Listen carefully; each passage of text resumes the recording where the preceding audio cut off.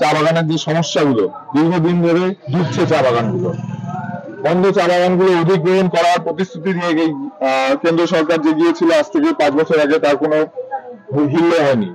তো এবং তাছাড়াও যে যেগুলো চা বাগান চালু আছে সেখানকার যে শ্রমিকদের যে অবস্থা তো আপনারা যদি যান তাহলে বুঝতে পারবেন। হুম।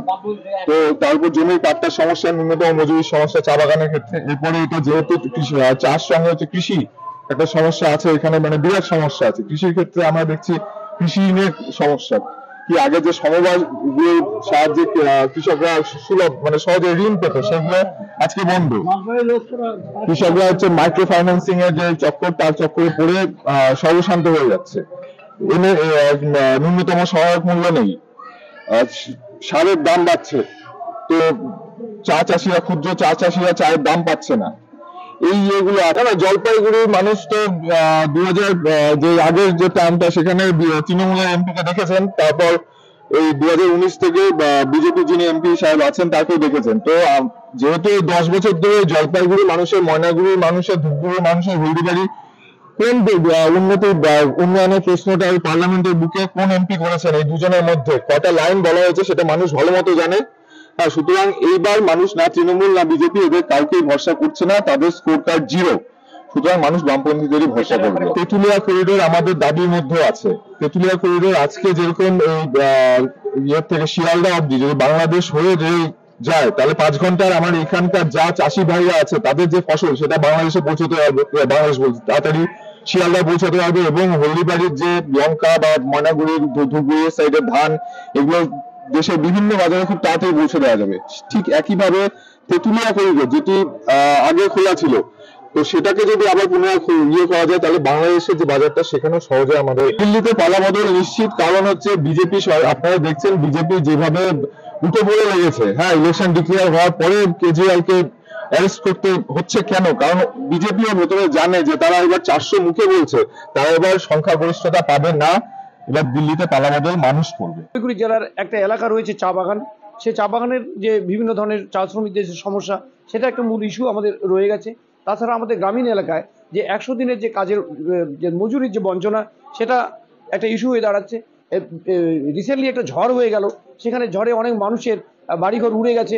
সেখানে যে আবাস যোজনার যে টাকার থেকে আমরা বঞ্চিত হয়েছি, সেটাও আমরা এখন আমরা সেই ইস্যুটা যে আমাদের কতখানি সত্যি, সেটা এবার বোঝা যাচ্ছে। করতে হবে এবং আমরা তৃণমূল কংগ্রেস আমরা এটা আমরা পজিটিভ ভাবেই নিচ্ছি আর কি এই আসনটাকে এবং আমরা খুব আশাবাদী এই আসনে না সেটা আন্তর্জাতিক ক্ষেত্রে সেটা ফ্যাক্টর হতে পারে কিন্তু আমাদের যারা সাধারণ মানুষ যে মানুষগুলো বঞ্চিত হয়ে আছে তাদের কাছে তেঁতুলিয়া করিডোর হলো না নতুন রেল স্টেশন হলো না ওই সুপার কি যেন বলে ওটা বন্দে ভারত হলো সেটা নিয়ে নয়। আজকে মানুষের ঘরে চাল উড়ে যাচ্ছে তারা খেতে পাচ্ছে না তারা একশো দিনে কাজের পয়সা পাচ্ছে না সেটা তো আমাদের সাধারণ মানুষের যেটা যেখানে আমাদের এইটটি পার্সেন্ট মানুষ গ্রামে বাস করে এবং কৃষক শ্রমিক হ্যাঁ তাদের কথা না ভেবে আমরা বড় বড় কথা ভাবতে পারি না। মানুষ এবার অন্যভাবে ভোট দেবে তাদের অধিকারের জন্য ভোট দেবে গণতন্ত্রকে বাঁচানোর জন্য ভোট দেবে আমাদের দেশের বহু কষ্টার্জিত যে সংবিধান সেটাকে বাঁচানোর জন্য মানুষ ভোট দেবে।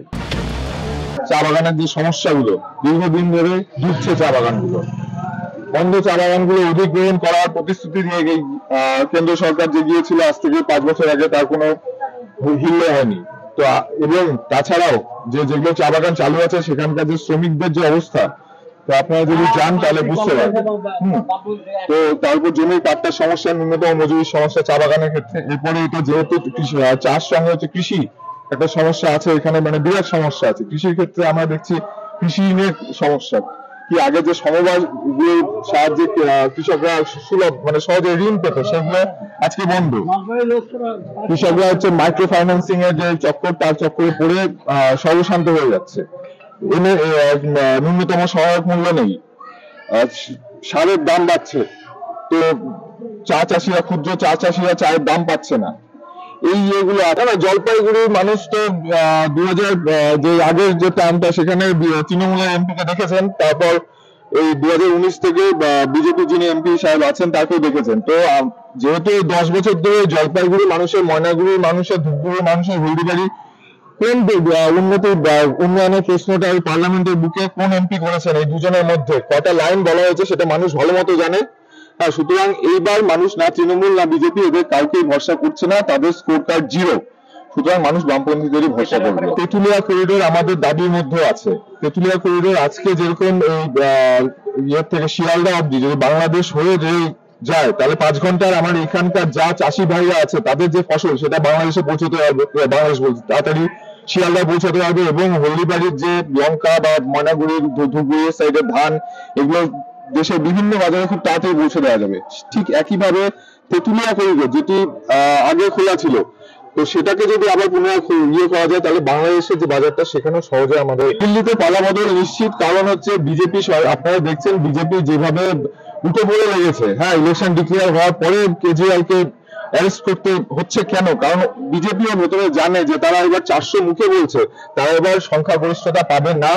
এবার দিল্লিতে পালাবদল মানুষ করবে। দেখুন আমাদের তো এখানে স্বাস্থ্যের একটা, স্বাস্থ্যের একটু বুঝতেই পারছেন, পশ্চিমবঙ্গের সরকারের উপর, স্বাস্থ্য বিভাগের উপর খুব একটা ভরসা নেই।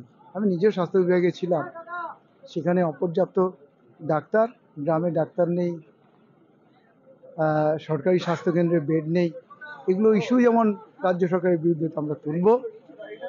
পাশাপাশি আমাদের এখানে আরও নতুন হসপিটাল কিছু করা যায় কিনা, বিশেষ করে সেন্ট্রাল গভর্নমেন্ট ফান্ডেড বা যদি প্রাইভেট অর্গানাইজেশনে যদি কেউ থাকে, তাদেরকে আমরা এনকারেজ করব যে আপনারা আসুন, আপনারা এখানে করার চেষ্টা করুন। পরিবর্তনের কোনো প্রশ্ন নেই। মার্জিনের ব্যাপারে বলুন। দিল্লিতে চারশো পার জলপাইগুড়ি জেলার একটা এলাকা রয়েছে চা বাগান। সে চা বাগানের যে বিভিন্ন ধরনের চা শ্রমিকদের যে সমস্যা, সেটা একটা মূল ইস্যু আমাদের রয়ে গেছে। তাছাড়া আমাদের গ্রামীণ এলাকায় যে একশো দিনের যে কাজের যে মজুরির যে বঞ্চনা, সেটা একটা ইস্যু হয়ে দাঁড়াচ্ছে।